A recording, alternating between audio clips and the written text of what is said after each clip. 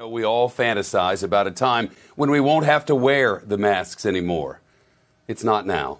But some at a supermarket in Florida appear to have decided that the time is now.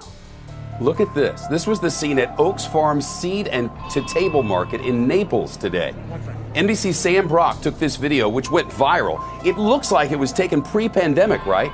Most customers and employees not wearing masks at all.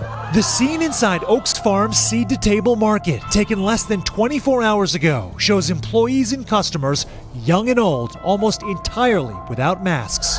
The store's policy includes mask exemption guidelines. The sign says if you have a medical condition that you don't have to wear a mask, and nobody inside will ask about medical conditions, so masks are not enforced. The owner told Sam Brock this when questioned about the policy. Is yeah. your position then about medical exemptions, or is it about the fact that you don't think masks work and that the virus well, is not a real? I know that the masks don't work, and I know that the virus has not has not killed 400,000 people in this country. That's total hogwash. And Mr. Oaks faced backlash from this community before, not just for his positions on COVID and masks, but also for how he characterized the social justice movement as well.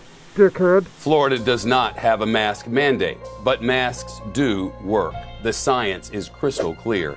In July, the CDC director said the United States could get COVID under control in four to eight weeks if we would only all wear masks.